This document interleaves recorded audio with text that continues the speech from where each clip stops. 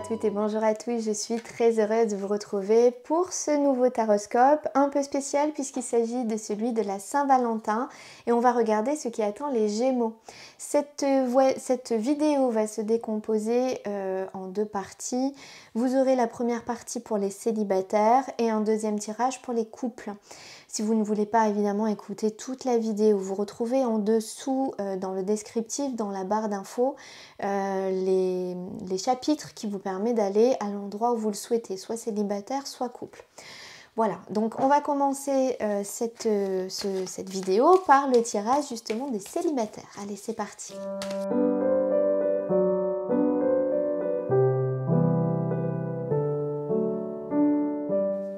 Alors, pour vous, les Gémeaux célibataires, vous avez un drôle de jeu puisque vous n'avez que des personnages chevalier d'épée, roi d'épée, roi de bâton, chevalier de denier, deux chevaliers, deux rois. Donc, c'est très particulier comme tirage. Euh, alors, au niveau de votre point de départ, ici pour moi, il est notion de communication, d'échange, de... Alors c'est des communications qui peuvent aller vite, soit des SMS, des appels, euh, des, réseaux sociaux. Vous voyez, il y a une connexion avec Internet, il y a quelque chose qui est, qui est très rapide ici. Euh, on, est, on est beaucoup dans l'échange. Alors, il est possible que vous ayez déjà des contacts avec une personne euh, pour qui vous avez peut-être un petit béguin, un petit coup de cœur, c'est possible, euh, ou alors ça va euh, prochainement arriver. Votre état d'esprit, vous avez le roi de bâton. J'ai l'impression que vous avez vraiment envie de profiter de la vie ici, hein. de, retrouver de, de, la joie, de la passion, de, pour autant, on est quand même sur un roi, donc on n'est pas sur une énergie qui batifole pour autant, mais vous avez envie d'une relation, de quelque chose qui est très très vivant. On va venir recouvrir. Voilà. Ici, euh, j'ai l'impression que d'un côté, vous avez un grand réseau, beaucoup de connaissances, beaucoup d'amis, beaucoup d'occasions peut-être euh, euh, de sortir. Euh, mais pour autant, parfois, vous avez l'impression de vous sentir seul, d'avoir personne pour vous aider, d'être dans le besoin, mais, mais que personne ne répond. C'est comme si vous aviez une vie sociale qui était riche, mais que finalement, soit vous ne demandez pas l'aide, et ça on va le voir ici parce que justement ça tombe bien, c'est la carte de l'aide et du soutien. Euh, soit vous n'avez pas euh, l'aide euh, que vous demandez parce que vous avez des personnes autour de vous qui sont peut-être un peu superficielles. En tout cas, il y a une notion ici où vous avez l'impression d'être un peu de côté, d'être dans la notion de manque, et pourtant vous êtes entouré. Alors, soit parce que vous ne savez pas demander, encore une fois, soit parce que vous n'avez pas le retour à la juste valeur. Ici, on a quand même cette notion de communication, d'échange. Voilà. Euh, moi j'ai l'impression quand même que pour certains d'entre vous, il y a déjà un petit peu anguille sous roche il y a un petit peu quelque chose qui est déjà en train de s'amorcer. Non seulement parce qu'on a les communications, mais parce qu'en plus on a ce deux de coupe. Donc j'ai l'impression que ici, vous avez jeté un petit peu votre dévolu sur une personne, votre cœur bat pour une personne, et vous vous imaginez déjà construire un foyer. Vous avez l'impression d'avoir déjà votre place ou que cette personne a déjà sa place dans votre famille, dans votre foyer, dans votre quotidien. Euh, vous imaginez bien avec cette personne. Le 2 de coupe, on a vraiment envie de concrétiser quelque chose avec cette personne avec laquelle on échange. Ici, roi de bâton, on a envie de profiter, de savourer la vie, la vie à deux. Hein. Euh, ici, avec cette personne, on se projette vraiment. On a vraiment envie de quelque chose qui soit passionnant, qui soit passionné, et pourtant, patatras. La tour vient frapper et elle emmène l'épuisement. Elle emmène un ras-le-bol, elle emmène un burn-out. Alors, qu'est-ce que c'est cette histoire? Ouais. Ici, j'ai l'impression que vous vous emballez peut-être. On va la recouvrir, cette deux de coupe. La force. Ici, je ne sais pas si c'est que vous vous emballez ou si vous êtes euh, en train d'essayer de, de concrétiser des relations, mais j'ai l'impression que euh, vous êtes fatigué. Vous êtes fatigué d'essayer de construire des relations, vous êtes fatigué de, de toujours y mettre du vôtre. J'ai l'impression que euh, vous vous remettez beaucoup en question, vous, vous essayez de, de travailler sur vous euh, pour faire en sorte de, que ça se passe bien dans les relations, mais à chaque fois, ça se casse la figure. Et aujourd'hui, vous avez envie de quelque chose de léger. Aujourd'hui, vous avez envie de profiter. Peut-être que en fait, ici, vous vous projetez avec cette personne, mais pour autant, euh, on n'est pas dans la notion de mariage-engagement.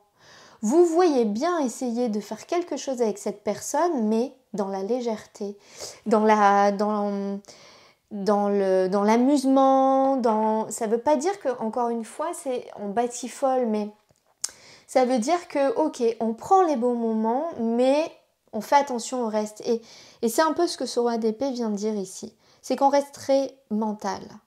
Oui, on prend les bons moments, mais on sait aussi ce qu'on a traversé, tous les efforts qu'on a fait, le burn-out où ça nous a emmené, et ça, on n'est pas prêt à y retourner. Donc oui, on a une personne avec qui on s'entend bien, avec qui il y a des sentiments, avec qui on se sent... Euh, euh, les choses sont assez fluides et tranquilles. Oui, on a envie de profiter, mais on reste sur ses gardes, on reste vigilant. Roi d'épée, on va venir la, recouvrir. Voilà. Exactement. On reste vigilant parce que on en a marre d'avoir le cœur brisé. On en a marre de souffrir. On en a marre de pleurer. Voilà. On en a marre d'être dans des situations comme ça. Donc, on veut bien s'engager. On veut bien commencer quelque chose, mais pas dans n'importe quelle condition. Ici, vous restez très très vigilant sur un nouveau départ. Pour moi, il y a un nouveau départ quand même qui est possible, mais mais, mais, mais, parce qu'il y a un mais, il y a le mental. Il y a le mental ici qui, euh, est toujours euh, fatigué, voyez vous avez envie, vous échanger, mais je pense que vous n'êtes pas totalement sorti de ce burn-out, de cette difficulté, de ce cœur blessé ici. Et même s'il y a une nouvelle euh, relation qui se présente, euh, il y a le mental qui tourne, qui ressasse. Oui, mais t'as vu, euh, dans ton ancienne relation, ça a commencé comme ça, puis t'as vu où ça t'a amené, et puis les hommes sont tous comme ça, ou les femmes sont toutes comme ça, et puis toi tu vois bien, ça se termine comme ça, tu mérites pas l'amour. Voyez ce mental qui vous amène à à cogiter, à ruminer des choses qui sont néfastes. Pour moi ici, vous allez prendre le dessus, il y a bien un nouveau départ. Hein. Euh, vous allez prendre le dessus, vous allez avoir la victoire sur ces blessures, sur ce mental qui est abîmé, euh, qui est fragilisé ici. Et là, dans l'évolution, on a le chevalier de nez qui nous dit qu'on va prendre le temps de. Il n'y a pas de précipitation. Dans un premier temps, vous profitez de la relation, des bons moments, de ce qu'elle vous apporte de positif, de ce qu'elle vous fait vivre de positif, et vous allez vraiment prendre le temps de vouloir concrétiser. Il y a vraiment quelque chose à lâcher ici du passé. Il y a quelque chose du passé qui vous emprisonne, qui vous retient. C'est pour ça aussi que vous allez vraiment prendre le temps parce qu'il y a quelque chose euh, qui n'est pas encore résolu. Ce cœur brisé, ces pensées, c'est pas encore résolu et il va vous falloir un certain temps. Il y a peut-être un travail sur vous ici euh, à faire de longue haleine. Hein. Euh, alors de longue haleine, tout est relatif, mais je veux dire, c'est pas une séance avec un thérapeute, une séance d'hypnose ou autre hein, qui va résoudre le problème. Il va falloir prendre un peu plus de temps pour vraiment couper ce qui vous retient. Mais pour moi, il y a déjà quelque chose ici qui est en train de vouloir émerger, mais euh, lentement on va regarder la solution, ce qui peut vous aider. Ben, ce qui peut vous aider, c'est l'aide et le soutien ici. Euh, est-ce que vous savez demander de l'aide? Est-ce que dans les moments difficiles, vous êtes capable de prendre votre téléphone et d'appeler vos amis, vos connaissances, votre famille pour dire je vais pas bien, je vais pas bien, j'ai besoin de soutien, j'ai besoin d'être écouté Est-ce que vous savez faire ça? Est-ce que vous savez demander ça? Est-ce que euh, vous attendez d'être dans l'épuisement? Moi j'ai l'impression que c'est ça le problème. Vous attendez d'être dans l'épuisement au bout du rouleau pour, pour dire bah, il faut que je remonte et, là vous avez besoin de soutien. Ce qu'on vous dit ici, c'est que la solution, c'est d'accepter qu'aujourd'hui, vous avez besoin d'être aidé. Ça peut être par un thérapeute, ça peut être euh, par euh, des amis, par de la famille, par quelqu'un qui est sage, qui saura vous aider, ou même par plusieurs personnes. Mais ici, ce qui va vous aider, c'est vraiment de faire appel à une ou des tierces personnes pour vous sortir de ce contexte qui est difficile parce qu'ici il y a une relation qui demande à émerger, mais pour qu'elle ait sa place, il va falloir nettoyer l'ancien. Et ça, c'est pas quelque chose que vous allez pouvoir faire seul, c'est pas quelque chose qui va passer avec le temps. Parfois, on se dit, le temps va faire son affaire. Non. Le temps, il passe. Il fait que parfois, c'est un peu moins douloureux parce que notre cerveau met des mécanismes en place pour faire en sorte de mettre un mouchoir dessus et que ça soit moins douloureux, mais c'est pas pour autant que c'est réglé. Et ici, si vous voulez que cette relation puisse émerger et avoir une belle évolution, il y a des choses ici à régler. C'est impératif pour la réussite de ce qui attend et de ce qui est déjà dans les tuyaux. On va regarder maintenant pour les Gémeaux qui sont en couple.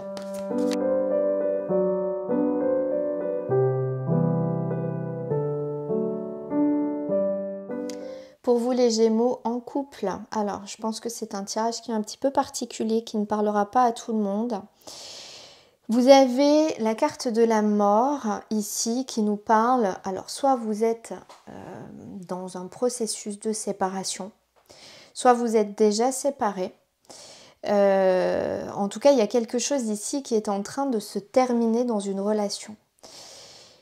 Soit c'est vraiment euh, un aspect de votre relation qui est en train de se terminer. On va recouvrir, d'ailleurs je vais, je vais recouvrir maintenant. Je ne vais pas attendre d'avoir analysé tout le reste du tirage. En tout cas, la mort nous parle d'une fin, d'une transformation. Il y a quelque chose qui est... Voilà, hop. La roue a sauté, donc je la mets. On, parle bien de quelque chose qui est en train d'évoluer. Hein. La mort, c'est une fin hein, pour pouvoir renaître. Et ça emmène une transformation. Hein. Ce que l'on a fauché, ce que l'on a nettoyé, euh, sert d'engrais pour euh, laisser émerger quelque chose de nouveau, et notamment ici cette rose blanche. La roue de fortune nous parle d'un cycle. Il y a quelque chose qui de toute façon est amené ici à se terminer, à évoluer. On a la carte de l'étoile et la reine d'épée. On a quand même une carte qui nous parle d'espoir, euh, de, guérison, euh, du fait d'être guidé et d'une reine d'épée ici qui est beaucoup dans le mental et l'analyse. Donc je pense qu'il y a vraiment une situation ici euh, qui mentalement vous prend un peu la tête. Chevalier de bâton. J'ai l'impression ici qu'il peut y avoir un contexte un peu tendu. Un peu tendu, euh, ça manque de. ça manque d'engagement. Ça manque d'engagement, on part un peu dans tous les sens. Euh, ça manque de, positionnement, c'est tout feu, tout flamme, quoi. Euh, alors soit vous êtes avec une personne, ou, ça peut être vous hein, même qui n'arrivez pas à vous engager dans cette relation. ça ne veut pas dire qu'il y a des tromperies ou, ou qu'on va voir ailleurs, mais on n'arrive pas à se poser, on n'arrive pas à se stabiliser dans cette relation et, et ça c'est plus possible. Euh, soit effectivement c'est des énergies insaisissables et on n'arrive pas à évoluer ensemble dans la relation. Ici, vous, euh, vous, vous avez un, fardeau, c'est, pour vous c'est difficile. Moi je pense ici que ce chevalier de bâton c'est plutôt votre partenaire, hein, homme ou femme, puisqu'il sort ici en valet de bâton également. Et pour vous on voit que c'est un contexte qui est euh, difficile ici de, de voir que il y a quelque chose qui ne va pas, il y a quelque chose qui, qui, qui n'évolue pas comme ça devrait. Euh, et, et vous, ça vous pèse. C'est comme si la personne qui est avec vous, qui partage votre vie, euh, elle s'investissait pas et toute la charge, alors la charge du quotidien, la charge financière, la charge, la charge mentale, euh, c'est comme si c'est vous qui étiez obligé de tout faire parce que euh, votre partenaire ici euh, n'est pas là, euh, il, est plutôt dans les bons moments, dans l'amusement, dans... alors encore une fois, votre partenaire, il ou elle, hein, je dis il pour, par facilité, mais il ou elle, on voit que bah, c'est vous qui portez tout, quoi. Bon, ici, il y a quelque chose qui de toute façon ne va pas durer comme ça. C'est pas possible. on ne sait pas encore. On sait qu'on va trancher Ici, vous savez très bien que vous allez prendre une décision, que vous allez trancher parce que ça, c'est plus supportable pour vous. Le fardeau est devenu trop lourd et vous n'avez plus envie de le porter. Mais aujourd'hui, vous ne savez pas encore comment vous allez pouvoir trancher, comment vous allez pouvoir changer la situation. Mais il est clair et net qu'elle va changer. La personne qui est avec vous sera en vallée de bâton. C'est quelqu'un de joyeux, c'est quelqu'un de solaire, c'est quelqu'un d'extraverti, qui aime voir du monde, qui aime sortir, euh, qui va faire passer les plaisirs, les bons moments avant les obligations, avant tout le reste en fait. Et c'est ça qui est difficile pour vous. Hmm. Alors, ici, on vous dit que, bon, bah, lui, euh, lui euh, ou elle, enfin la personne avec qui vous êtes ici, elle a ce tempérament assez immature. En fait, c'est le mot qui me vient. C'est immaturité. Euh, il va falloir que cette personne regarde, cette personne, va falloir qu'elle regarde les choses différemment. qu'elle termine quelque chose pour aller vers autre chose, qu'elle grandisse en fait. Mais c'est difficile parce que ça va générer un manque. C'est comme si en fait euh, le fait de, grandir, de s'investir, on l'amputait de quelque chose qui lui donnait sa joie de vivre. C'est comme si on né, je vous disais, c'est une personne qui peut être très solaire. C'est comme si euh, vous mettiez un abat-jour sur le soleil et, que vous éteigniez presque sa lumière. Ça lui manque. Euh, sa joie de vivre lui manque. Alors, cette personne, elle va essayer de trouver un compromis, de trouver euh, un équilibre entre les moments euh, où on peut s'éclater, où on peut profiter, et le moment où on doit s'investir et, trouver euh, bah, sa maturité. Mais ça va pas être simple. Alors je pense que malgré tout, cette personne, votre partenaire ici, va faire l'effort de d'essayer de changer ça. Hein. Mais euh, je pense que ça va être compliqué parce que ça va vraiment l'impacter dans qui il est. Mais ce qui me rassure, c'est que euh,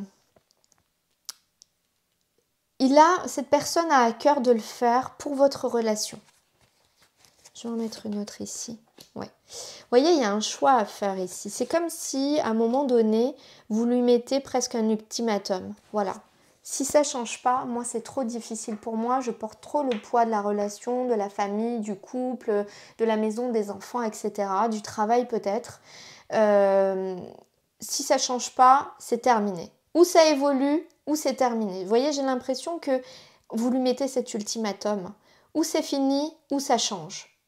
Mais tu peux pas rester comme ça un éternel adolescent ou une éternelle adolescente. C'est valable euh, homme ou femme. Hein.